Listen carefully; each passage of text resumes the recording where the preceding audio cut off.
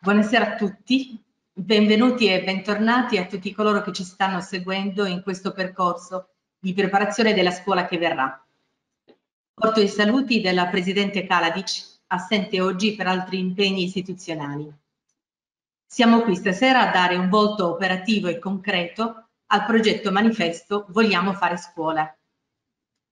La FIDAE vuole continuare ad essere accanto alle nostre scuole nella progettazione perché tutte possano ripartire da settembre con un volto nuovo. Ci aiuteranno ancora una volta gli esperti e ormai amici FIDAE, la professoressa Elena Granata del Politecnico di Milano, ormai nota a tanti di noi, e il suo socio nello studio di comunicazione civile, Fiore De Lettera, anche lui giornalista, editore ed esperto in branding culturale. Diamo a loro subito la parola e il laboratorio che condurranno sarà interattivo Pertanto vi esortiamo al punto giusto, poi la professoressa Granata ecco, ci indicherà quando a porre domande. E chiaramente eh, ribadiamo che al termine di, della conferenza ci sarà la possibilità di avere la registrazione disponibile. Vi arriverà un questionario che dovrete cortesemente compilare e al termine ecco, del, della compilazione riceverete l'attestato di partecipazione. Auguriamo a tutti una buona partecipazione e buon lavoro. Grazie, grazie Elena, grazie Fiore. Buonasera a tutti, bentrovati. Eh, il mezzo è sempre avaro di relazioni umane, quindi ci piacerebbe molto poter essere in un'aula con voi, eh, ma cercheremo più possibile di supplire ai limiti di questo mezzo, eh, facendovi viaggiare attraverso delle aule aule reali che noi abbiamo visitato per voi nei giorni scorsi, che ci sono state diciamo generosamente concesse dal liceo, dal collegio Villoresi di Monza. E quindi abbiamo utilizzato questo spazio eh, come un test, un tester eh, per poter eh, verificare diciamo in che modo possiamo riadattare gli spazi delle nostre vostre scuole perché siano pronte a settembre per accogliere i ragazzi con la finalità che ci siamo detti nelle precedenti puntate, cioè che sposteremo i banchi, cambieremo gli assetti, trasformeremo le aule non perché c'è il Covid, non è una ragione abbastanza valida, ma perché dobbiamo renderle sempre più adatte alla vita, alla creatività, alla serenità, alla felicità dei nostri bambini e ragazzi. E quindi questo deve essere diciamo, l'atteggiamento che ci guida a guardare gli spazi. E quindi quest'ora, ora e mezza, quello che servirà, mh, che vivremo insieme a voi, ci attendiamo domande molto secche sulle questioni pratiche. Eh, fate domande di qualsiasi natura e sorta, riguardanti ovviamente lo spazio, i tempi della scuola.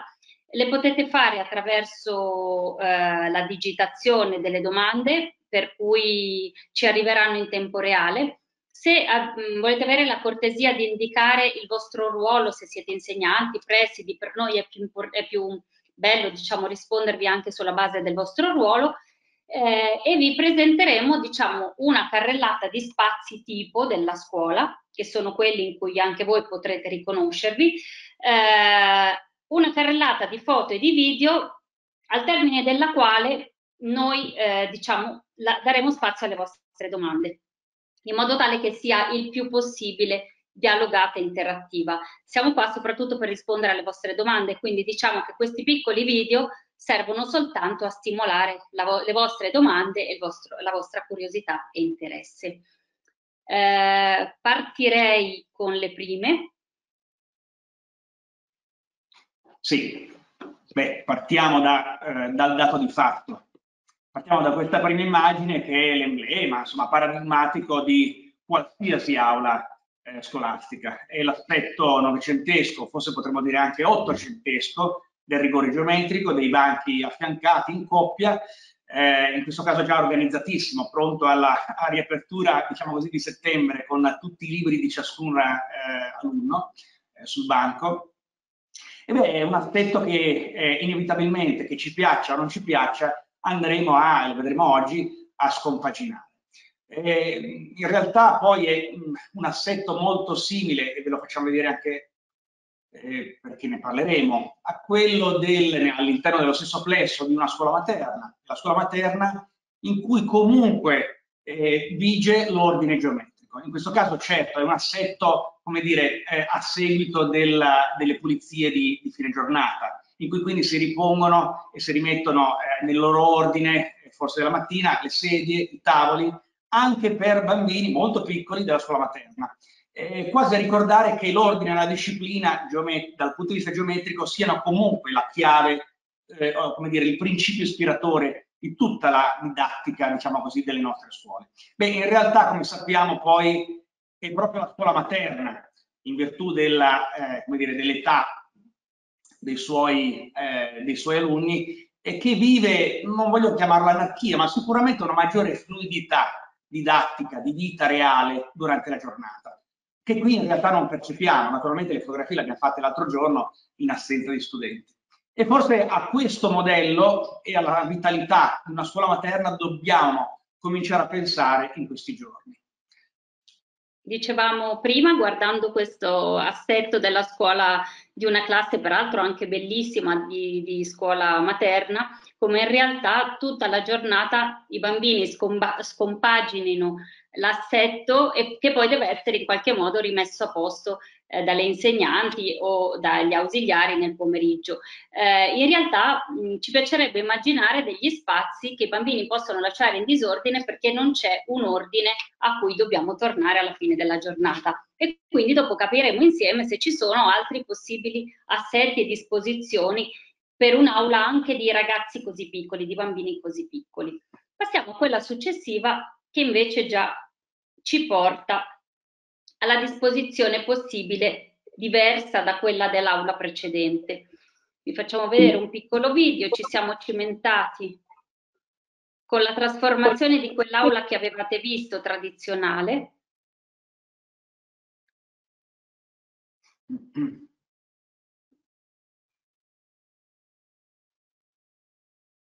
Quindi l'assetto classico abbiamo provato a trasformarlo in isole Isole molto semplici, sono, alla fine l'aula è stata riorganizzata secondo tre isole, nelle quali si ottiene una doppia finalità. Distanziamento dei ragazzi, e questo è ovvio, qui siamo in un liceo, ma potrebbe essere l'assetto anche di una classe delle medie o delle stesse elementari, ma anche la creazione di piccole community dentro l'aula. Vedete che sono come tre, tre insiemi, molto semplici, con tanto spazio intorno, le sedie sono state distanziate così da mantenere diciamo, la metrica finora indicata dal Ministero, però non è solo quello lo scopo, è anche quello di creare delle unità di aggregazione che facilitano diciamo, la visuale dei ragazzi. Una domanda qui potrebbe essere dove sta l'insegnante? Dove si dispone l'insegnante in una classe così fluida? Non c'è più la cattedra, non c'è più la lavagna, eh, sì, non ci sono più, nel senso che ci sono quando servono, ma l'insegnante può stare in piedi, può camminare, può ovviamente disporsi in maniera più libera nello spazio, può semplicemente sedersi su una delle sedie dei ragazzi e diciamo questo crea molto movimento dentro l'aula, una spiegazione anche di una materia tradizionale in un assetto così che è semplicissimo già innesca la curiosità dei ragazzi. E quindi avete visto come la prima proposta è passare dalla disposizione ciascuno per sé, tutti orientati alla cattedra, a una disposizione per isole. Sì. Il numero di posti è, quello, è equivalente. Beh, naturalmente il numero di posti che cambia in funzione anche delle dimensioni dell'aula. Noi avevamo a disposizione questa scuola che sicuramente rappresenta un episodio anche particolarmente felice dal punto di vista edilizio, eh, però eh, naturalmente questa abbiamo visitato. E nella stessa scuola, peraltro, eh, si sta portando avanti un programma di, sper di sperimentazione di una didattica eh, anche alternativa e qui lo vedete, un'aula in cui, a prescindere dal Covid, perché si parla già di un anno fa, eh, si è cominciato a disporre eh, i banchi in un altro modo. Lo vedete, naturalmente sono banchi dalla forma diversa, trapezoidali, ci sono varie aziende in Italia che hanno cominciato a vendere questo tipo di, eh, di, di assetto. Componibili, dopo lo vedremo, secondo diverse configurazioni, però la logica dell'isola è la stessa. In questo caso la lima la vedete, e quindi presumibilmente la postazione del professore, del docente in corrispondenza della lavagna. Adesso vediamo eh, più tecnicamente il dettaglio anche della... Aspettate che lo ingrandisco.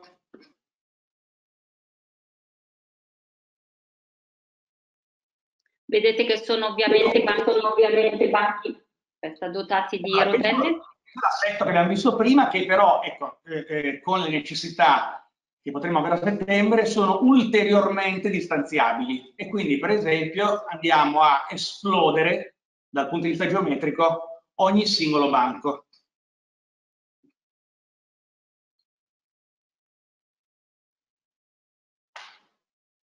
mantenendo inalterata diciamo così, la disposizione poi eh, generale dell'aula.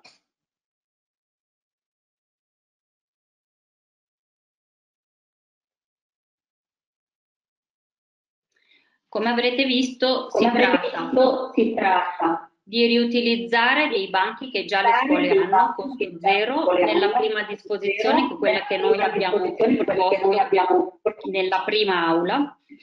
E invece laddove una scuola volesse fare un investimento magari su un cambiamento più radicale dei banchi, questo modello con le rotelle è quello che troviamo più convincente perché consente davvero di trasformare l'aula in un luogo che si adatta alle esigenze o della, delle, dei giorni, pomeri, mattina pomeriggio, la settimana. E questi tra l'altro in questa fase storica ci consentono il distanziamento in maniera molto semplice. Vediamo gli stessi banchi, eh, la plasticità di questi banchi che consentono quindi una disposizione tradizionale come questa immagine, eh, ma ovviamente la forma così imperfetta suggerisce la possibilità di montare insieme delle forme diverse, come in questo caso a coppie specchiate.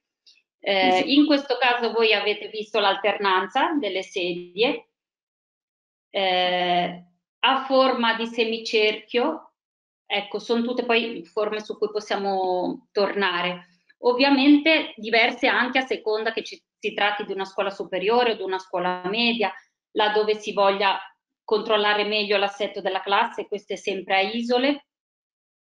Eh, le isole, eh, a dispetto della loro nomea, eh, consentono agli studenti una grande concentrazione perché sono eh, gruppi piccoli eh, dentro un assetto di classe in cui i ragazzi possono guardarsi in faccia tra di loro, interagire e l'insegnante è una presenza pur senza la cattedra che diventa veramente praticamente inutile, la fluidità nello spazio dell'insegnante in realtà ha molta più presa sui ragazzi, anche dal punto di vista psicologico, perché gli consente di muoversi, di interagire direttamente con loro.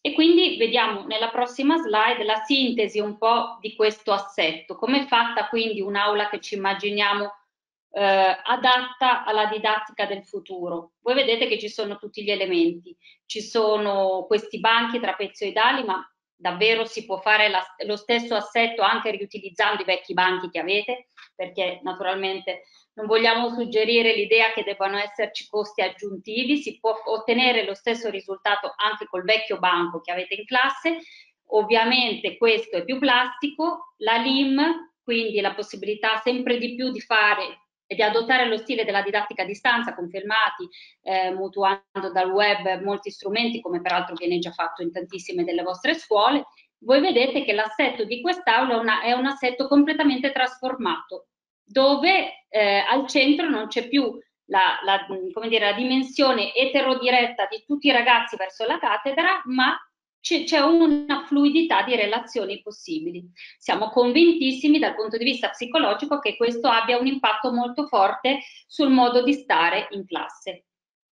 Sì, è evidente infatti che anche l'approccio didattico eh, diventa da, eh, dire, da, da frontale eh, anche collaborativo, nel senso che questo approccio è evidente che eh, sollecita, deve anzi far leva proprio sulla collaborazione eh, anche degli sguardi semplicemente durante la didattica eh, tra gli studenti ed è evidente eh, che eh, qualche docente storcerà il naso, lo sappiamo già, però gioco forza.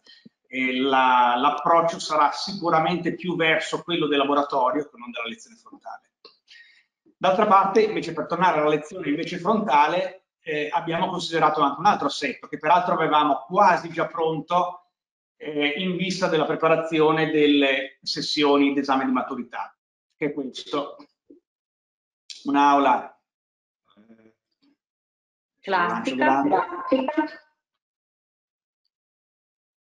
un'aula sicuramente abbastanza grande nelle sue dimensioni, in cui naturalmente la, la configurazione lineare a U dei banchi va eh, diciamo, a, a, a, uniformarsi a quello che è il perimetro poi della, della stanza stessa. Eh, qui la, il distanziamento è fin troppo, eh, anche eccessivo, considerando le, le, le, norme a cui dovremmo attenerci, però naturalmente c'è la modularità del banco che diciamo, assecondava la, il salto di un banco per ogni eh, posizionamento. Allora qui lo chiudo di qua. Quindi siamo passati da un modello a isole, che è un modello incentrato diciamo su tanti poli, a un modello invece che lavora sul perimetro e anche questo è molto efficace perché eh, i ragazzi si vedono tra di loro in faccia, si vedono molto bene, cosa che di solito non avviene perché loro hanno sempre la visione delle schiene, di, come in chiesa, la visione di, di quello che sta davanti. Invece qui il vedersi, il guardarsi, ovviamente può essere fonte di, di distrazione, però è certamente un elemento di catalizzazione molto forte. Quindi eh, l'assetto perimetrale eh, consente all'insegnante di avere in pugno la scena di quello che sta accadendo, non solo perché può camminare, può muoversi, eh, può gesticolare, eh, può, può, può, stare seduto nel centro e quindi diciamo che la figura dell'insegnante ehm, può trarre davvero giovamento da, da questa nuova disposizione, soprattutto eh, nelle medie o in certe classi delle superiori. Eh, qui abbiamo provato anche a lavorare proprio sul, sul perimetro, che è una cosa che si può fare agevolmente in tutte le classi, soprattutto avendo fretta diciamo, di cambiare l'assetto. Eh, e qui abbiamo anche qui provato eh, la, la verifica al distanziamento e quindi fare una, una sedia sì, una sedia no, eh, lavorare sul bordo. Sì, questa era, una, una, era un'aula già con questo assetto a cui abbiamo cercato però di eh, aumentare qualche posto.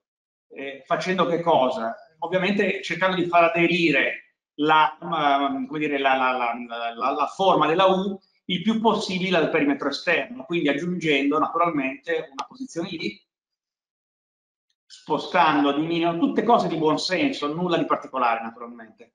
Eh, aggiungendo però due banchi che vuol dire in totale, per semplicità, eh, l'aggiunta di sei posti in totale. Naturalmente, e lo vediamo anche qua, dopo nella foto successiva, adesso magari risparmiamo ogni singolo. Esatto, allora intanto arriva qualche domanda che raccolgo subito e quindi si chiede se la distanza deve essere tra i banchi o la distanza deve essere tra gli alunni. Allora, la distanza deve essere tra gli alunni, nel senso che eh, non si potrebbe fare una metrica con i banchi avendo ogni scuola banchi molto diversi. Eh, diciamo che la distanza eh, suggerita va dal metro ai due metri. Eh, il metro è quella minima e poi bisogna fare i conti ovviamente col, con gli spazi delle scuole e si arriva a un massimo di due metri che è stato quello diciamo ehm, imposto ad esempio per, per, per l'esame di maturità. Eh, quindi le, dovete capire quanti, eh, perché ovviamente il, il, calcolo che dovrete fare è distanza tra le teste, eh, quanti banchi ci possono stare a questa distanza in una classe media delle vostre, perché ovvio che è un conto che non potevamo fare per voi, eh, qual è la soluzione più ottimale per la classe che dovete gestire, così da ottenere la distanza necessaria. Eh, dunque, quanti alunni per, per aula? Dipende dal numero di aula, cioè dipende dalla grandezza dell'aula. Quanti alunni in realtà? Prima domanda, distanza tra i banchi, esatto.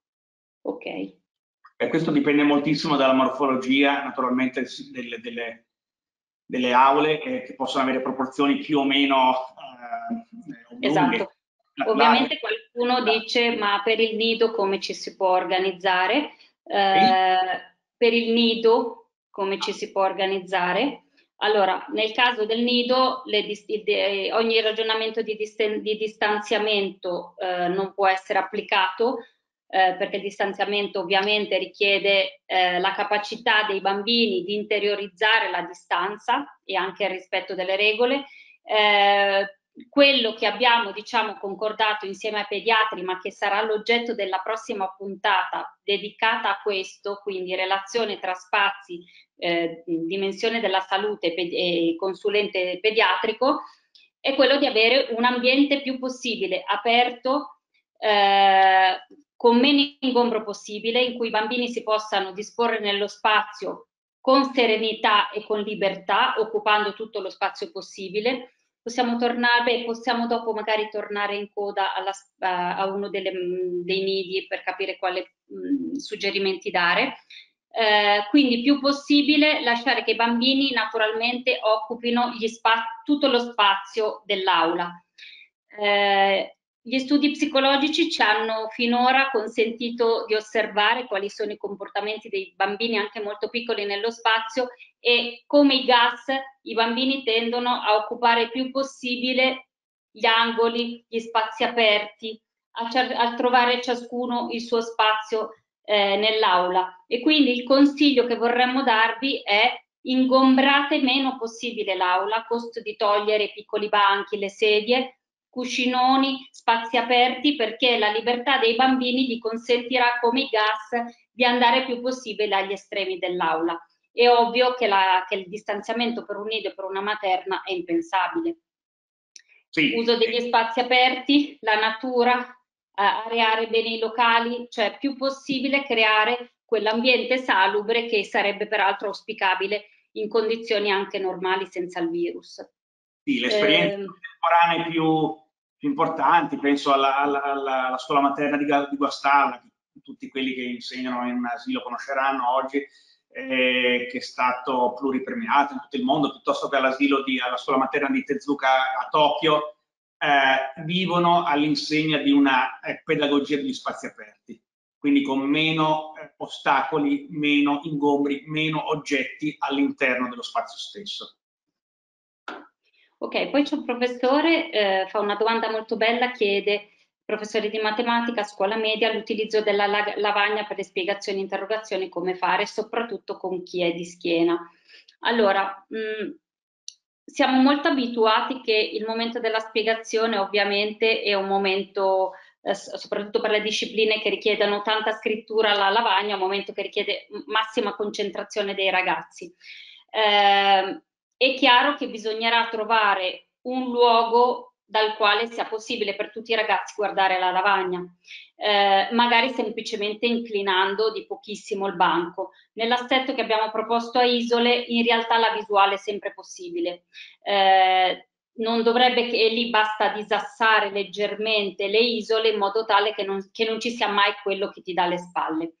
Dopodiché mh, mm, Dopodiché dobbiamo anche eh, uscire dall'idea che la memorizzazione di quello che viene scritto alla lavagna avvenga in quel momento, perché la didattica a distanza in queste settimane ci ha spiegato, ci ha insegnato che può esserci il momento della spiegazione e poi questo momento della spiegazione può essere anche in qualche modo registrato. Eh, gli studenti possono tornare sulla spiegazione che magari viene fatta anche a distanza, il materiale può essere nuovamente scaricato. Allora l'idea è se riusciamo insieme anche a scardinare un pochino l'idea che la lezione debba essere fatta secondo i canoni che abbiamo utilizzato nel passato.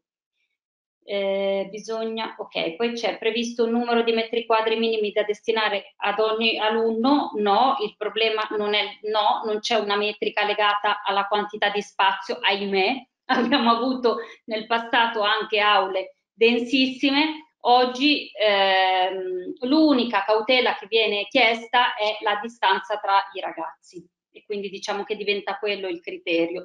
Dal nostro punto di vista non è, non è solo una questione di distanza, ma è una questione anche di riorganizzazione dei ragazzi nello spazio.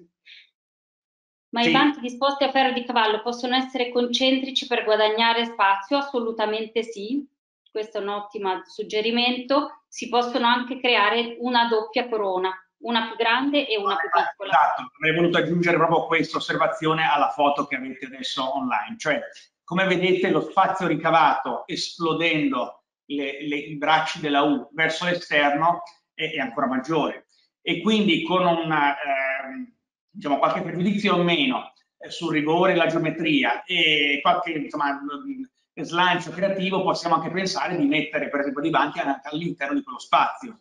Eh, non ha, eh, diciamo, la disposizione di ogni studente non sarà omologa l'una all'altra, pazienza. Cioè, dobbiamo cercare di eh, sfruttare lo spazio in modo anche creativo. E lo vediamo in realtà poi anche nella foto successiva, che è un'aula di computer. Qui il caso proprio che ci ha illustrato la responsabile è proprio eh, di, eh, come dire, spazi di rispetto per studenti. Allora, questa è un'aula, fidatevi, ve lo dico io perché ricordo bene la situazione, ah no, beh, si vede, forse un video, di eh, 24 postazioni. 24 postazioni perché sono quattro eh, file di sei posti, di sei computer ciascuna. Naturalmente anche in questo caso eh, posti rigidi, perché ciascuno, ciascuna postazione naturalmente ha il suo ehm, eh, vano per, per, i cavi e quindi le metriche, la, la, la, le gambe del tavolo, quindi non si può andare a, ad approssimazione, o, o sono sei o sono tre. E quindi naturalmente dimezzando completamente le postazioni vuol dire che avevamo 12 postazioni contro 24. Allora in questo caso, come vedete, bisogna agire con quel buon senso che abbiamo in casa. Quando improvvisamente ci arriva un parente che si, si, si sistemerà in casa nostra per sei mesi o un anno. Dobbiamo scompaginare un po' eh, ehm, l'assetto semplice, delle, delle, in questo caso delle scrivanie, aggiungendo un banco, abbiamo fatto i conti, 60 cm si recuperano a sinistra, 60 cm si recuperano qui, e il problema è che poi come si fa a passare? Eh, ci diceva, ci spiegava la, la, la, la, docente. Beh, per esempio, spostando banalmente questo mobile molto ingombrante di 60 cm nel corridoio. È un mobile, come spesso succede in tante scuole, come succede nelle nostre case, in cui non c'è assolutamente nulla. Eh, e quindi forse si può spostare per eh, l'anno che servirà ad aggiungere anche in questo caso longitudinalmente altre quattro postazioni e quindi non siamo arrivati a 24, ahimè, ma siamo arrivati a 18. Allora, vedo che ci sono tantissime domande, tutte molto belle, tutte molto, alcune molto tecniche. Eh, chiedo alla nostra regia eh, se ce le può salvare tutte, perché ovviamente ci sono alcune domande a cui risponderemo subito, altre a cui vi risponderemo, potremo fare, diciamo, a valle di questa conversazione, un documento da consegnarvi con tutte le risposte caso per caso, perché alcune sono anche molto tecniche, quindi ad esempio su quanti devono essere i bambini all'asilo nido eh, lo possiamo andare a verificare, per cui rispondiamo alle domande a cui siamo in grado di rispondere, le altre ci impegniamo a fornirvi a, a, tutte le risposte utili in modo tale da mettere insieme diciamo, un dossier con le vostre domande e le nostre risposte. Eh, c'è ad esempio la questione tecnica del, dell'area di pertinenza per eh, l'evacuazione. Ecco, allora, noi non abbiamo ancora avuto disposizioni, anche perché la materia è molto fluida, tra eh, compatibilità tra le classiche regole di disposizione delle aule e l'emergenza Covid e quindi anche lì bisognerà usare il buon senso, evitare di avere degli spazi troppo stretti rispetto alla parete, tenere un certo distanziamento. Ovviamente molte di queste cose non le troveremo scritte da nessuna parte, quindi dovremo andare a buon senso. Eh, poi c'è qualcun altro che chiede, scusate se... Elena, no, vorrei fare un esempio pratico che abbiamo proprio sì? eh, esaminato direttamente con chi ci ha assistito nella visita eh, del collegio a Monza. Pensate banalmente alle porte tagliafuoco. Ogni porta tagliafuoco, che dovrebbe essere a norma di legge eh, rigorosamente chiusa, se no il fuoco non lo taglia, e costituisce di fatto una strozzatura per qualsiasi tipo di flusso. No? E quindi se ci sono più persone che si avvicinano da una parte o dall'altra della porta, ci si accalca normalmente, ci si avvicina e, e molto più di quello che dovremmo. E, e quindi eh, il buon senso ci suggerisce che cosa? Di tenere le porte tagliafuoco aperte, perché nel momento in cui è tutto aperto, come abbiamo detto nelle aule, naturalmente i flussi si aprono e le distanze sono più rispettate in modo naturale. E qui, qui capite bene che c'è già un conflitto tra norme, tra le norme precedenti e quelle che eh, ci suggerisce il distanziamento. E quindi questo lo capiremo forse proprio nelle prossime settimane. Eh, queste alcune domande, tutte sono bellissime. Uno chiede di, di riguardare le aule, eh, vabbè c'è tutto il tema dei corridoi a cui adesso arriviamo, eh, poi c'è il tema del il rapporto insegnante-alunni nel nido e nell'infanzia, questa è una questione su cui possiamo tornare subito. Eh, se ci sono limiti, questo non si è capito ancora bene, se è sufficiente mantenere, se eh, diciamo uno ha a disposizione un'aula molto grossa, può arrivare anche a 27 alunni in classe, cioè se è solo una questione di metrica e la metrica è garantita, questo dobbiamo capirlo. Eh, ipotesi assetto per un'aula prima di scuola di scuola primaria, ok? Ehm, è vero che bisognerà mettere da parte la settimana corta, eh, sembrerebbe di sì, eh, sarà possibile mantenere in una classe 21-22 alunni, non dovrebbero esserci problemi. La palestra, avendo la metà degli alunni a casa. Ok. Perfetto, eh, ci ritorniamo, è importante che vengano salvate perché così tutte le domande a cui non rispondiamo in presenza rispondiamo a giro diciamo di pochissime ore. Um, tornerei sulla, allora, eh, uno dei messaggi che vorremmo darvi è non ci sono spazi inutili nelle nostre scuole. Eh, proviamo a guardare non soltanto lo spazio dentro l'aula, ma tutti quei potenziali spazi fuori dall'aula che possono costituire diciamo delle dependance rispetto all'aula chiusa. Perché questo consentirebbe anche di alternare delle attività dentro fuori l'aula nel classico corridoio di pertinenza. Eh, e questo diciamo consentirebbe anche di ovviare eh, alla questione di quanti alunni possono stare in aula perché se si pensano degli scaglionamenti però in spazi di prossimità questo potrebbe costituire diciamo, un, es un escamotage possibile. Eh, poi c'è il nido, questo, ok. Ok, questa ad esempio è sempre la sperimentazione della scuola media, voi vedete che in una classe così addirittura sono stati aboliti i banchi, eh, e tutto lo spazio delle pareti è uno spazio diciamo che può essere utilizzato come lavagna. Adesso con il riflesso della luce non si vede bene, magari ci avviciniamo, però tutte le pareti sono ehm, a lavagna, eh, come si dice tecnicamente, quindi ci si può scrivere. Eh, è un aspetto volutamente eh, open, quindi ibrido, eh, nel caso la dotazione prevedeva questi puff parallelepipedo schiumato che possono essere utilizzati in, in vari assetti, come avete visto, come seduta, come appoggio anche per, per le braccia in piedi. E è chiaro, non, possono non essere adatti questi assetti per qualsiasi materia, ma per molti sì.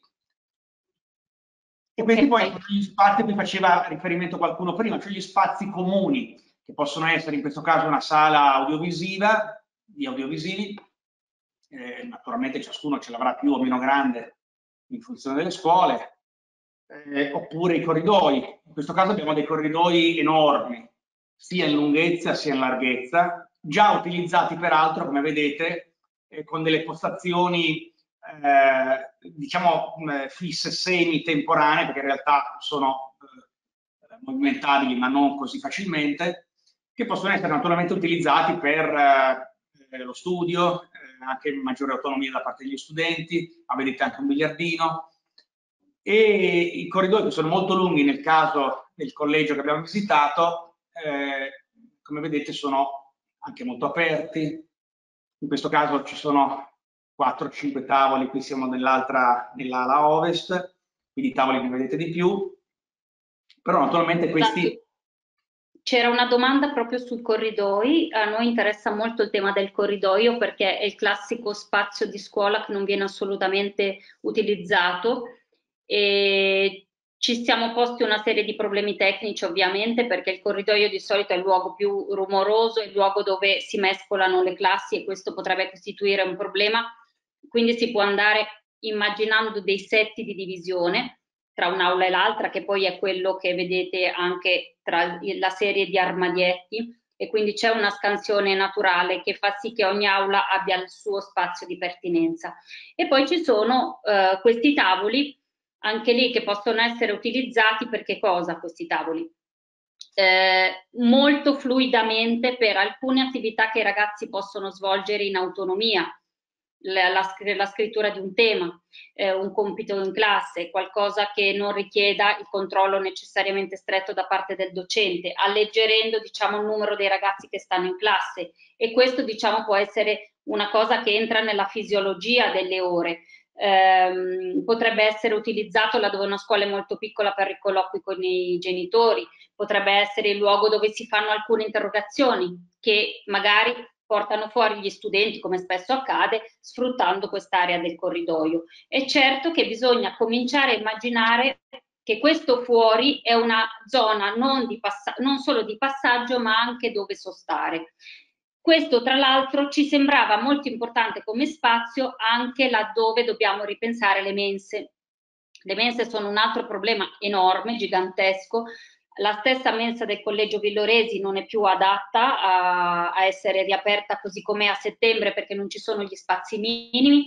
Di solito le, le mense sono dei luoghi molto affollati sotterranei e quindi in, qual, in, qualsiasi modo vanno evitate, però c'è il problema del come possano essere consumati i pasti dai ragazzi. Allora, in questo caso la nostra proposta è una proposta semplice, salomonica, eh, avere ancora ovviamente la mensa, però distribuire i sacchetti ai ragazzi perché possano consumare il pasto in autonomia. Dove? In, ecco, questo ad esempio è la classica disposizione di una mensa, vedete che non ci sono assolutamente le possibilità di creare distanziamento, questa è una mensa che già lavora su due o tre turni e questo è un altro problema delle scuole che molti di voi avranno, turnazioni che già adesso sono allo, al, al, massimo di, diciamo, dell'intensità e quindi l'idea potrebbe essere che il pasto viene pre, preso nella mensa e poi però consumato dai ragazzi altrove, eh, dove ovunque. Dal nostro punto di vista il momento della consumazione del pranzo può essere veramente un momento sociale, un momento che li fa stare all'aria aperta, nel cortile, eh, immaginando che può essere fatto anche in maniera composta nei corridoi, eh, immaginando dietro ovviamente tutta un'educazione e alimentare e alla compostezza. Ecco, questi. Fate conto che, giusto a titolo di cronaca, questa mensa, per carità adesso c'era un'altra piccola ala, però era comunque una mensa, questo è lo spazio riservato agli alunni eh, di un istituto con, se non vado errato, Elena 1100 eh, ragazzi. Esatto. Quindi capite bene, se non vado errato, ehm, si parlava di quattro turni, quindi diciamo una logistica già eh, sicuramente complessa precedentemente al Covid che adesso diventa pressoché insostenibile. Questo invece è lo spazio riservato ai docenti. Esatto. Qualcuno chiede se questa stessa, diciamo, libertà nel consumare il pasto possa essere adattata anche al nido e alla scuola materna. È ovvio che per la, il nido e la scuola materna bisognerà fare un ragionamento diverso. Eh, in quel caso anche soltanto il banale distanziamento intorno al tavolo potrebbe garantire eh, quella sicurezza che in realtà il Ministero auspica. Per quanto riguarda la mensa ci si può organizzare, perfetto. In un'aula di 6x6 quali potrebbe essere una disposizione di bianchi che sfrutti al meglio lo spazio disponibile. Ok, allora mi sembra che tanti di voi ci chiedono come fare senza snaturare l'assetto della classe partendo dall'assetto tradizionale a ottenere una dimensione, un distanziamento ottimale. Non è detto che si possa, cioè dovremmo vedere caso per caso, dovremmo farvi lo studio, ad esempio potremmo farvi il disegnino dicendo 6 per 6 quanti banchi ci stanno. Eh, non è detto che si riesca a fare con questo tipo di spazio immaginando dei corridoi, perché diciamo eh, la formula più semplice è scardinare l'assetto. questo potrebbe essere fatto anche sperimentalmente per un semestre eh, e potrebbe essere qualcosa che gli studenti e che i professori studiano anche negli effetti sulla classe, perché sono tutte disposizioni ovviamente reversibili, quindi si potrebbe anche provare a vedere che cosa cambia. Qualcuno chiedeva per, la, per i primini, quindi per la prima classe delle, delle elementari, quale potrebbe essere la, la disposizione eh, più felice.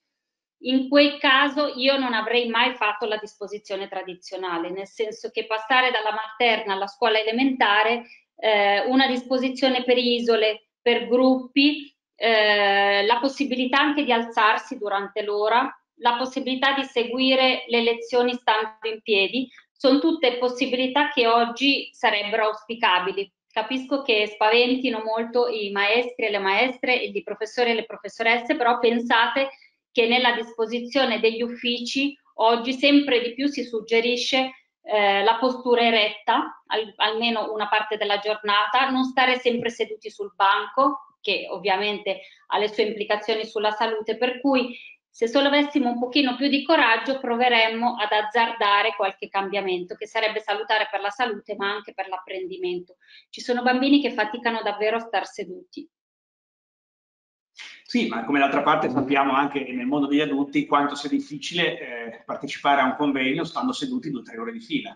Quindi non possiamo non meravigliarci dopo se eh, anche per un ragazzo di 6 anni piuttosto che di 12 sia così difficile. È inevitabile, tornando a qualche eh, domanda di prima, eh, eh, non poter dare, ris dare risposte esatte e soddisfacenti a tutte le richieste, perché parliamoci chiaro, se un'aula è già piccola e la densità è alta, è praticamente impossibile riuscire a, a, ad avere tutto e quindi ad avere un distanziamento ma con eh, lo, il medesimo numero di prima dei ragazzi all'interno dell'aula, è, è, impossibile.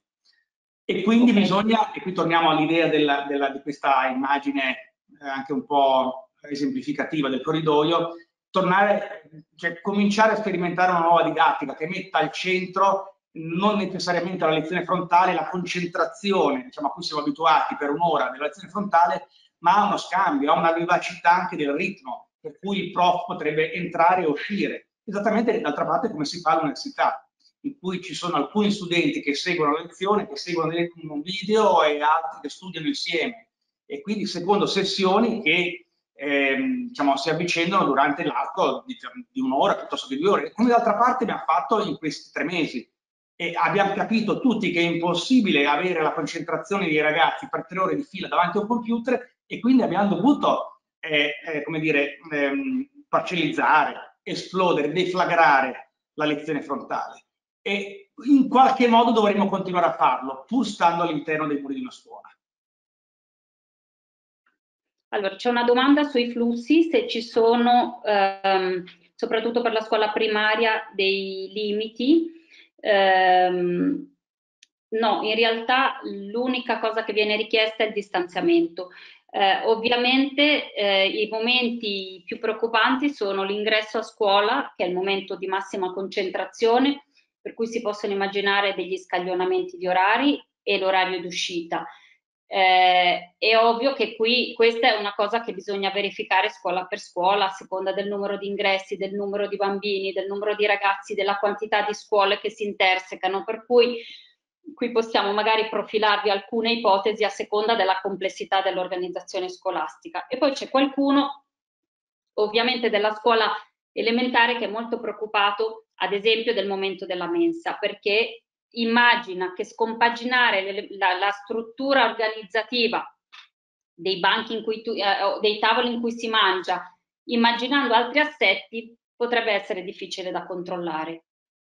È vero, capiamo le vostre paure profondamente, però eh, i bambini si adattano molto più di quello che ci immaginiamo al cambiamento. Questo non vuol dire lasciarli andare bradi come delle pecore in giro per la scuola, ma organizzare delle piccole aree strutturate, modello isola, in cui i bambini con un po' più di libertà possono disporsi per mangiare.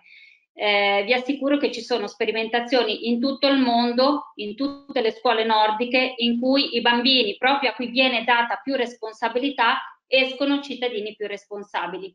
Non vi siete mai chiesti perché in Italia i ragazzi escono così poco responsabili rispetto alla cosa pubblica, rispetto alla valorizzazione dello spazio fuori di casa? Allora forse perché li stiamo organizzando come se fossero incapaci di assumersi delle responsabilità.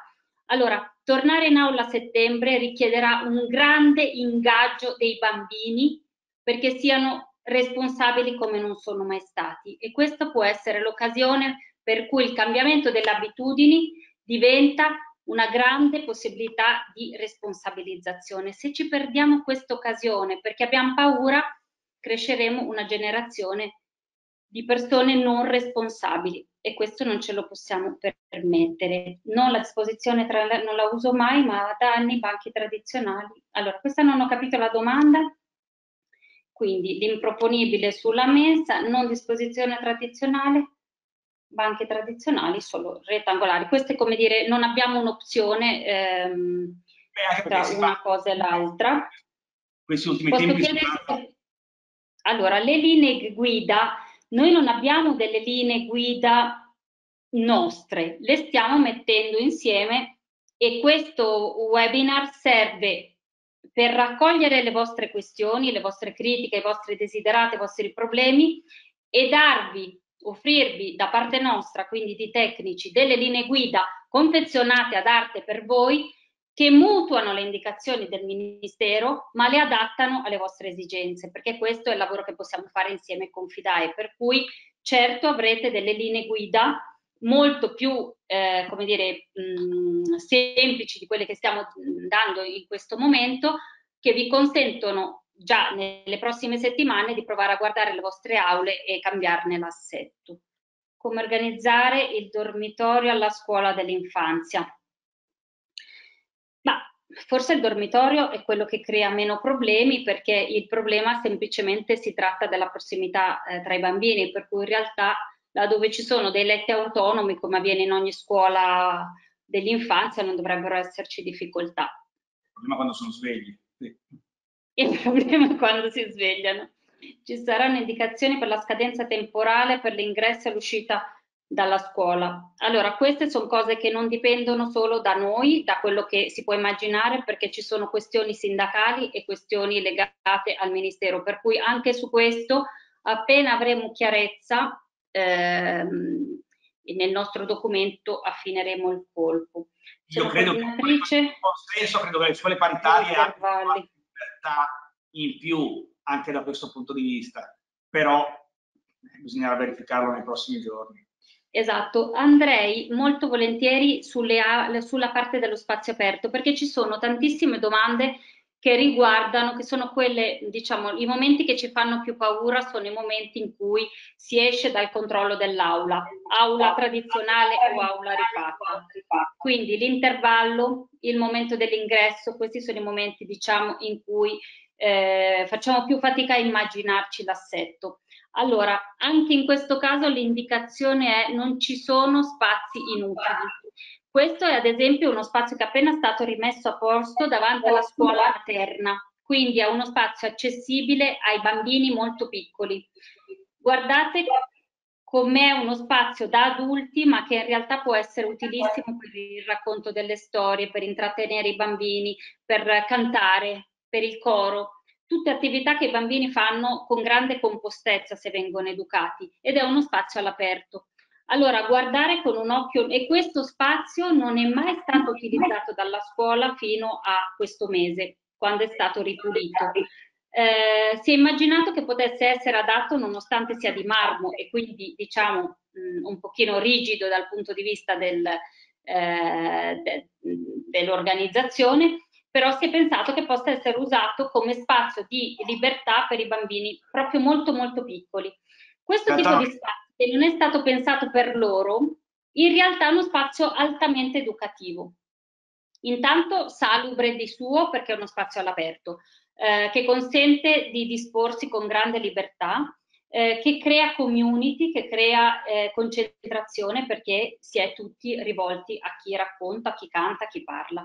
Eh, questi spazi spesso ci sono nelle vostre scuole, cioè quegli spazi un po' di risulta a cui non guardiamo mai. Quindi momento dell'intervallo, momento dell'ingresso, momento della pausa pranzo, cioè più possibile immaginare di portare nei, i ragazzi in quei luoghi, l'atrio, quei luoghi che di solito non valorizziamo. Eh, molte domande sono ancora su ehm, ah, ecco, la questione dei genitori. Allora, il momento dell'uscita e dell'entrata ancora, ancora può essere immaginata scaglionata, capiremo e ci faremo un'idea insieme a voi. L'uscita dalla scuola è un momento che non ha mai funzionato, perché è il momento più caotico, il momento in cui le, ci, si fermano i genitori con le macchine, e babysitter, così. E spesso lo spazio limitrofo alla scuola non è uno spazio adatto. Allora, eh, è veramente incredibile che in questo paese eh, i bar possano avere davanti i tavolini e occupare lo spazio pubblico e le scuole non possano presidiare lo spazio davanti all'ingresso per la sicurezza dei loro bambini. Quindi immaginando di poter occupare temporaneamente anche la, la strada il marciapiede ovviamente, ma anche la strada, là dove non ci siano delle piazze dedicate all'ingresso a scuola. Questa è una politica che si sta portando avanti in tanti paesi italiani, a Bergamo l'hanno sperimentata, l'idea della strada chiusa davanti al plesso scolastico in coincidenza dell'uscita. È una cosa che richiede l'accordo con gli amministratori locali, che si può fare nelle piccole amministrazioni, si può fare con una contrattazione, ovviamente invocando una ragione di salute, ma potrebbe essere poi la classica conquista che ci portiamo avanti nel tempo, cioè nell'ora in cui i bambini escono da scuola, i genitori devono avere spazio, i bambini non devono essere messi in condizioni, diciamo, di disagio dal passaggio delle macchine. Su questo vi possiamo produrre materiale per, se, se abbiamo voglia di farlo, come facciamo, chi l'ha già fatto, quali amministrazioni si sono già, diciamo, avventurate in questa direzione.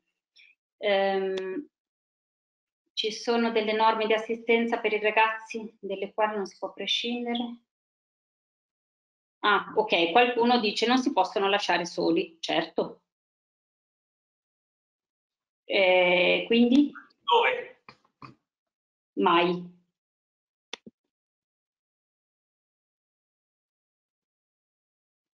Aspetta che non ho capito questa domanda, ci sono delle norme di assistenza e sicurezza dei quali non si può prescindere lasciarli in autonomia, certo. Sì, sì, ma infatti noi non abbiamo in mente di lasciarli da soli, ma di sfruttare delle aree limitrofe all'aula, come ad esempio il corridoio di pertinenza, come ad esempio il cortile in certi momenti, garantendo sempre la presenza degli adulti. Le linee guida a cui facciamo riferimento ovviamente al momento sono quelle molto lasche date dal Ministero. Eh, non mi chiara la questione della settimana corta significa aggiungere un giorno alla settimana. Mm. Ecco, questo della, allora, questo della settimana lunga o corta, da quello che ho capito, mi sembrava impossibile con le, con le indicazioni ministeriali, però devo verificare se, se e per quali ordini di scuole. Ok, chiedo in un'aula 6x6 già organizzata in modo non tradizionale, niente cattedre, è possibile mantenere la distanza con 25 bambini? Io non riesco a trovare la soluzione. Ok, allora domani noi ci impegneremo a fare una piccola planimetria e capire se c'è la quadra. No, eh, però, però Elena, possiamo già anticipare che eh, 6, 25 bambini in uh, aula di 6x6 è veramente difficile. È quasi impossibile. Mm. Sì, perché ci siamo posti la stessa questione guardando un'aula più o meno simile, peraltro è la misura tipica delle aule italiane, per cui sono più o meno fatte così. Sì, anche perché eh, possiamo fare il calcolo 36. 36 diviso 25 fa 1,44 metro, eh, metri quadro a bambino, quindi nulla. Ok, i bambini con la disabilità. Allora, bambini con la disabilità sono la grande occasione, eh, la grande occasione per le aule. Eh, in chiave paradossale, eh, benedetta sia la classe che ha un bambino disabile perché è la classe nella quale più spazio riusciamo a lasciare aperto e quindi più disposizione per isole, più possibilità di muoversi tra i, banchi e più è adatta al bambino con disabilità fisica o psichica. Eh, nella classe dei miei figli c'è un disabile per ogni scuola, è una media diciamo comunale e si fregia di avere pochi bambini per aula ma di poter accogliere bene i bambini disabili. Quindi questa diciamo che è una sfida interessantissima. Inoltre eh, bisogna lavorare assolutamente sulla presenza in classe della eh, del maestro o del maestro di sostegno, professore di sostegno che affianca il disabile, perché quella potrebbe consentire eh, di fare una didattica, tra l'altro controllando anche quella parte di classe che eventualmente deve essere destinata al corridoio. E quindi là dove ci, ci fosse un bambino disabile, le condizioni per lavorare bene ci sarebbero tutte. Anche su questo vi diamo poi delle indicazioni specifiche. Ehm, Dunque, mi chiara la questione la settimana corta, su questo dobbiamo verificare. Eh, torno indietro, scusate, per vedere se ci siamo dimenticati qualche domanda. Passerei intanto, magari procediamo intanto che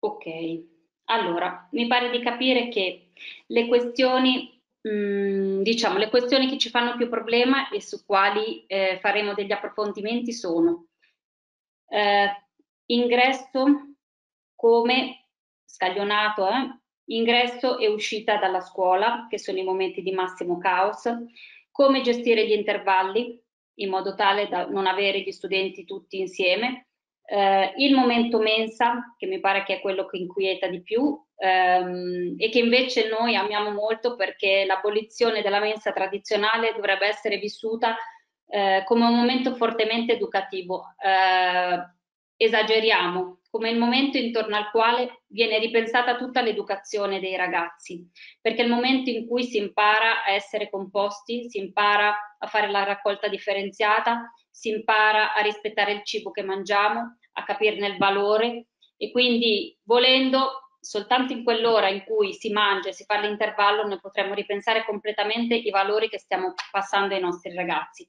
È ovvio che questo è il momento più inquietante, è il momento in cui si ha paura di perdere il controllo sui ragazzi, però è l'ora dalla quale potremmo avere più soddisfazioni, perché se ci ricordassimo che la cittadinanza dei bambini e dei ragazzi. Noi la costruiamo mentre mangiano e danno, imparano a dare valore a quello che mangiano, imparano a dare valore a prendere ciascuno il suo vassoio o la sua confezione, diciamo, di catering che potrebbe sostituire il pasto.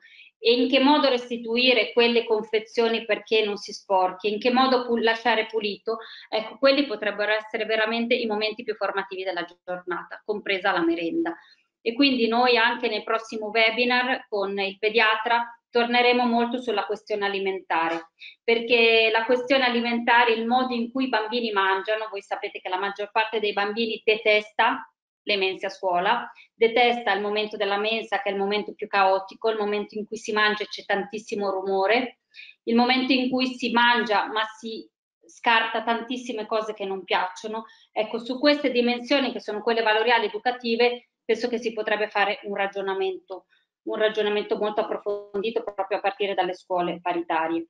Eh, poi c'è la questione di settimana lunga, settimana corta, su cui potremmo tornare anche con un secondo diciamo, appuntamento. Ehm, e poi ovviamente c'è la questione eh, diciamo, là dove non ci fosse la possibilità di avere un'aula per tutti i bambini iscritti a quella sezione, che cosa si può fare? E qui ovviamente sono tutte domande che noi dovremmo poter rivolgere a un rappresentante del Ministero perché lì attiene agli accordi che le singole scuole potranno fare col Ministero dell'Istruzione, capire là dove non ci sono le condizioni fisiche che cosa fare.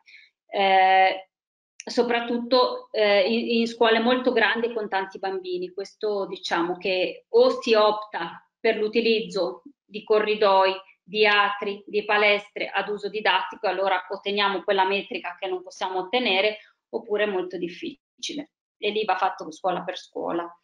Eh, dunque, vediamo la questione del nido. Ok, eh, come indicazione di massima ci sarebbe sgombrare il più possibile le aule. Questo anche per i bambini molto piccoli, siamo abituati a organizzare molto i loro spazi di gioco per aree, per aree semantiche dove diamo dei messaggi, c'è il luogo dove si legge, il luogo dove si dorme. Ecco, le sperimentazioni più interessanti sulla scuola proprio della primissima infanzia ci dicono che uno spazio liberato da tanti oggetti è uno spazio che i bambini abitano eh, con più creatività e più serenità, a costo di togliere i banchi, a costo di togliere le sedie quando i bambini sono molto piccoli.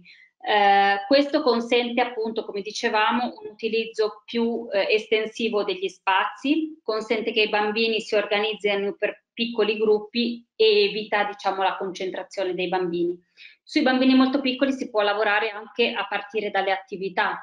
Quali sono le attività di, che li ingaggiano evitando la promiscuità, la prossimità tra di loro e, e, quindi come capite non è soltanto una questione di spazi ma una questione di ripensamento di tutte le attività che facciamo insieme a loro pratiche igieniche, lavarsi le mani, lavarsi le mani il più possibile, aprire le finestre, possono essere tutte cose che veicoliamo in maniera fobica e quindi cresceremo una generazione patogena oppure possono diventare le occasioni per cui lavoreremo molto di più con l'acqua, lavoreremo tanto con i saponi, con le bolle di sapone, eh, insegneremo ai bambini, ecco, quindi ricordiamoci sempre che le scelte che facciamo non sono dettate soltanto dal rischio, sono dettate da un valore pedagogico educativo.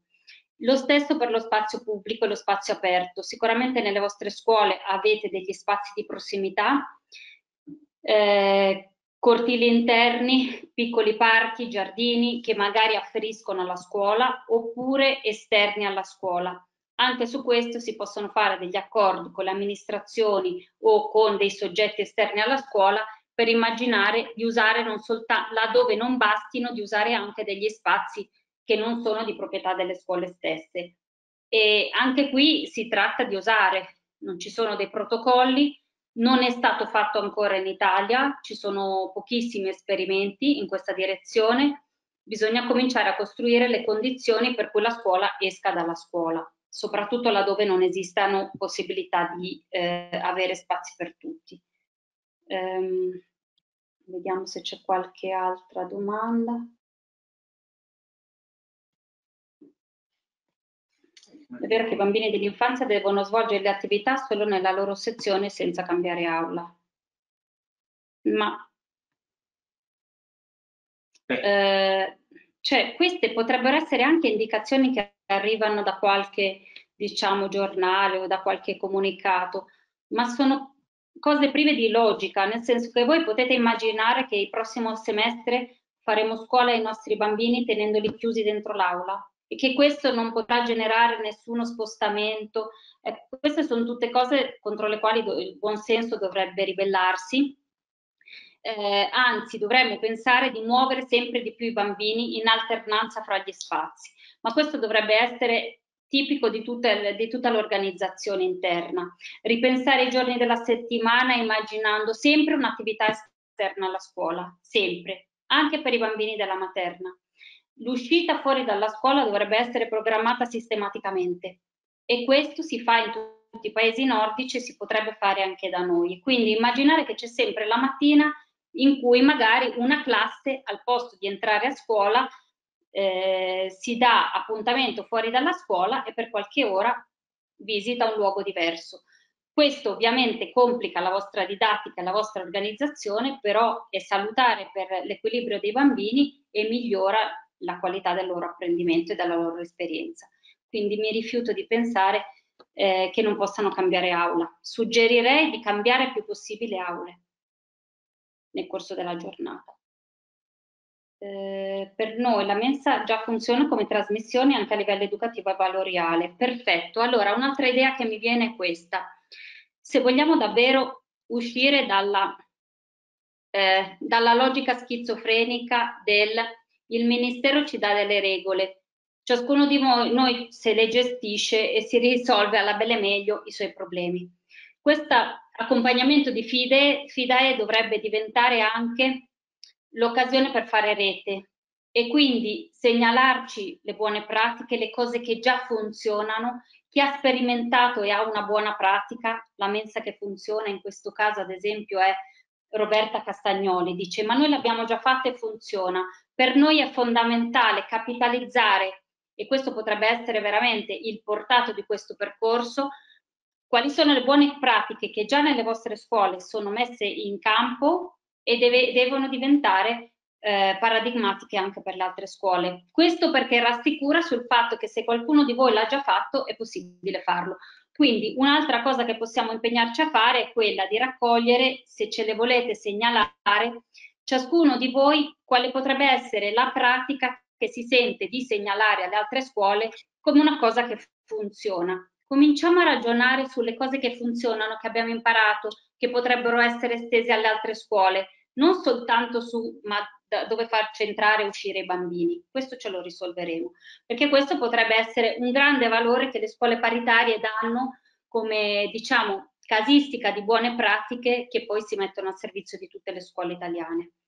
Eh, quando ci sarà il prossimo webinar, allora il prossimo webinar eh, ce ne saranno di due tipi. Eh, quelli diciamo la mezz'ora di formazione su temi specifici, la prossima sarà col pediatra, lunedì prossimo alle ore 18. Eh, mi pare 18, 18 e 30, non ricordo se mi aiuta, ma dopo avrete l'indicazione.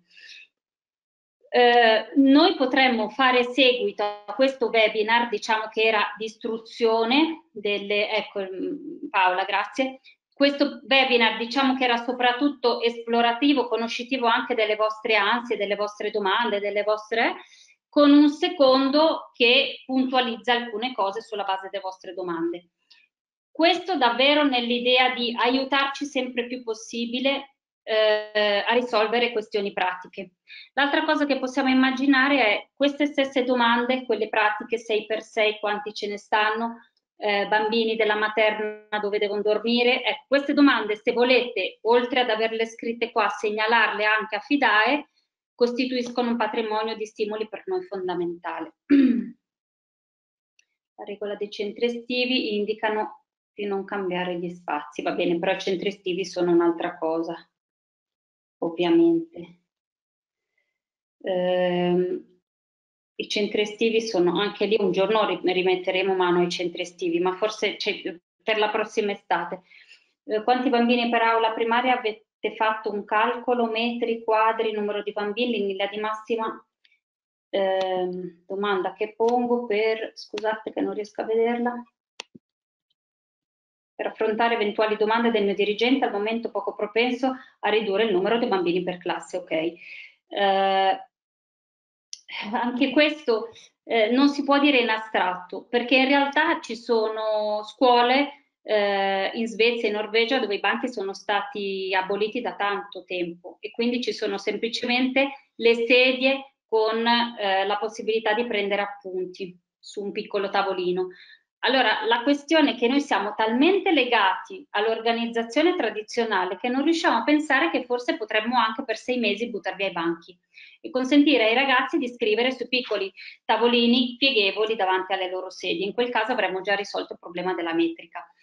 Mm, se avessimo il coraggio ogni tanto di dare qualche calcio al pallone, io la cosa che mi sentirei di suggerire un po' anarchicamente a un preside che non voglia diminuire saggiamente il numero di bambini per classe perché non si smembrano delle classi che, sono che hanno fatto già un cammino è abolire i banchi che è la cosa che peraltro in università si fa. Non si può fare con bambini di 8 anni, 10 anni, 12 anni? Sì, si può fare, non c'è nessuna prescrizione per non farlo. Eh, se non erro, in verità favoriscono cambiamenti di spazio così da pulirli.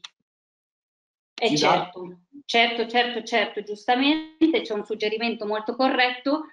La fluidità dei bambini all'interno della scuola in alcuni momenti favorisce il ricambio d'aria, fondamentale il ricambio d'aria, questo ce lo dirà il pediatra, la prima norma igienica è quella di cambiare aria e quindi che è una cosa nelle aule delle scuole non viene fatta mai e poter igienizzare i banchi e quindi dubito che ci sia l'indicazione di tenere i bambini otto ore nella stessa classe perché sarebbe terribile. Potrebbero essere utili le sedie uniceratoie. Potrebbe essere utile le sedie con, come quella, Paola, magari tu, o se no, se la dottoressa Iervolino ha voglia di spiegarci meglio, uniceratoie. Io non vedo le domande. Ah, non le vedete, ok. Dovremmo predisporsi degli armadietti. Certo, ovvio, dovremmo predisporre gli armadietti nel corridoio perché alle medie, ad esempio, hanno tanto materiale per cui il banco è comodo, certo, assolutamente. Eh, un'altra cosa che abbiamo capito spostando i banchi è che la disposizione a isole, a isole per le quali una parte dello spazio non viene utilizzata, perché c'è banco utilizzato sì, banco utilizzato no, eh, consente ad esempio di usare il banco limitrofo eh, per il materiale didattico, che è una cosa utilissima.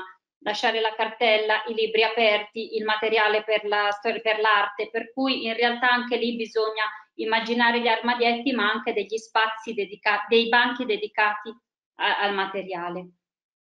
Ah sì, sì, sì, universitario, ok, esattamente. Eh, ottimo intervento della, della, della collega Ierbolino. Allora, le sedi universitarie, quelle classiche che hanno il banco ribaltabile, potrebbero essere una soluzione perfetta per sostituire i banchi per qualche mese.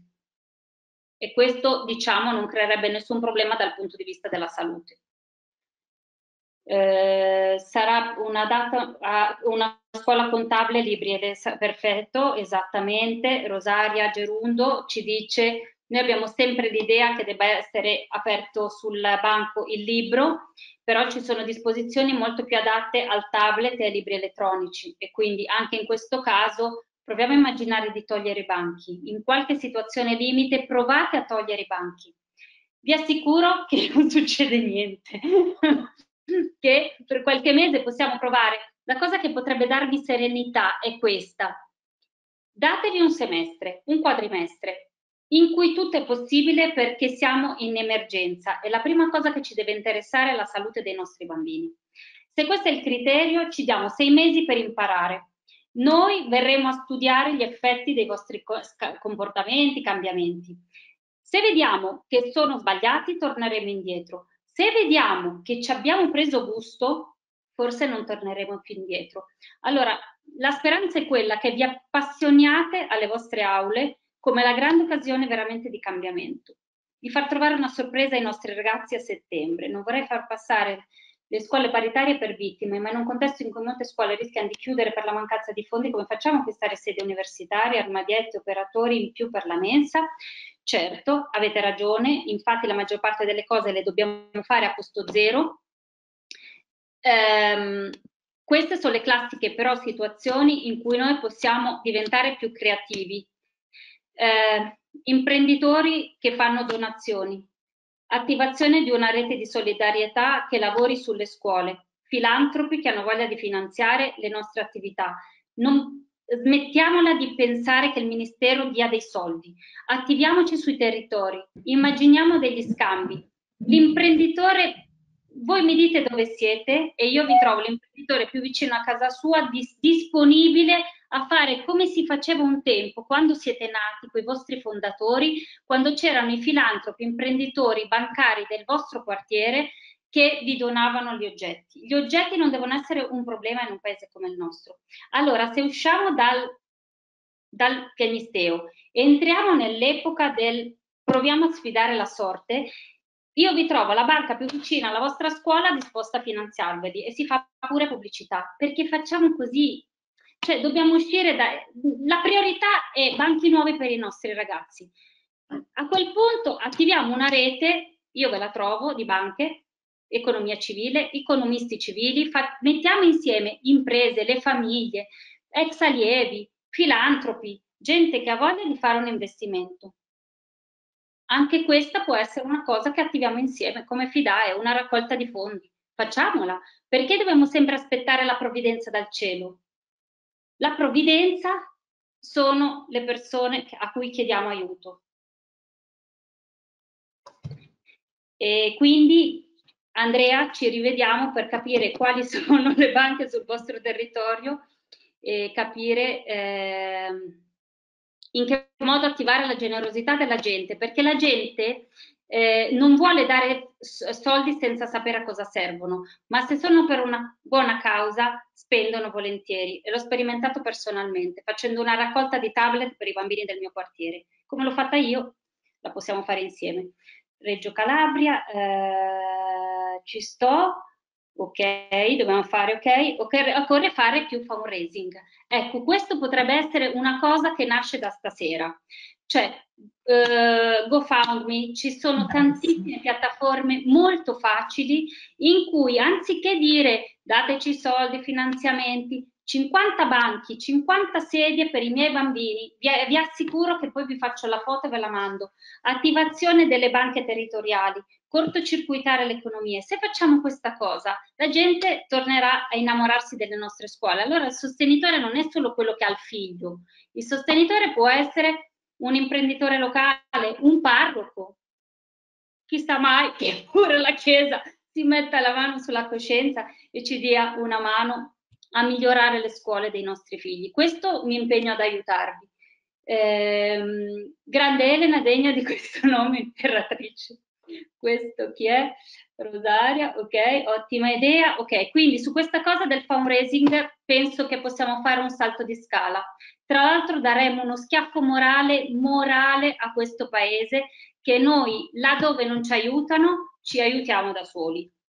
La mia scuola nel quartiere APA a chi rivolgermi per avere un aiuto? Ok, BCC, BCC dopo vi do i contatti, partiamo con eh, le scuole e le banche territoriali e chiediamo di finanziarci la messa a norma delle nostre scuole. Questo a Piatuscolano ve la troviamo subito. Eh, insomma, mi sembra che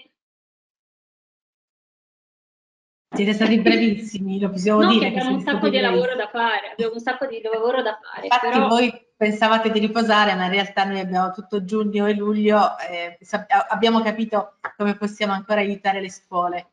Non so se Elena dovete aggiungere qualcosa, altrimenti... Io vorrei soltanto a finire con una battuta.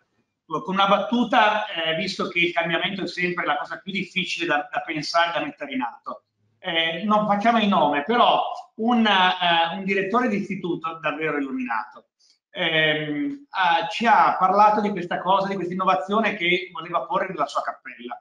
È una cosa che tra l'altro io ho sempre pensato, e cioè di svuotare le chiese delle, delle, delle, delle panche.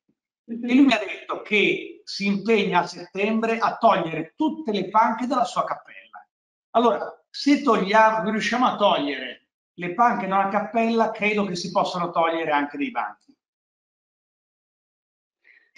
Esatto, poi c'è la domanda, ci sono, i ragazzi dovranno indossare la mascherina, insomma avete fatto tante di quelle domande inimmaginabili, penso di, avere, eh, di averne visto il 30%, mi scuso con quelle che non ho visto ma è scritto molto piccole quindi ne ho perse, però se mi garantite, fidai regia, che le salvate tutte, queste per noi sono un patrimonio enorme per farci un'idea delle difficoltà reali, perché poi siete voi sul campo, noi possiamo soltanto diciamo, seguirvi eh, surfando, cercando di starvi dietro, però le domande partire, possono partire da voi.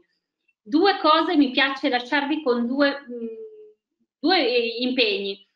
Mh, mm, appartenere a un'associazione ha valore soltanto nella misura in cui si lavora insieme. Se ne usciamo che ci è venuta voglia di fare fundraising o addirittura scambio di mobili tra scuole che ne hanno troppi. E, e, cioè, possiamo mettere, fare una specie di scambio mh, di arredi per le scuole, possiamo fare richieste di arredi, possiamo contattare gli imprenditori dell'economia civile, per quello avete chiamato noi e la, io sono vicepresidente della scuola di economia civile, a questo dovrebbe servire a, a, tirare a lucido le nostre scuole e renderle adatte a voi. Eh, scambio di buone pratiche, scambio di buone pratiche. Se uno tra di voi l'ha fatto, tutti devono poterlo sapere. Quindi a brevissimo noi avremo un sito dedicato a Vogliamo fare scuola, che sarà il luogo dove scambiarci le esperienze.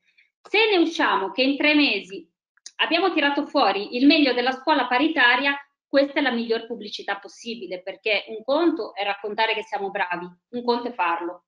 E qui siamo un passaggio topico.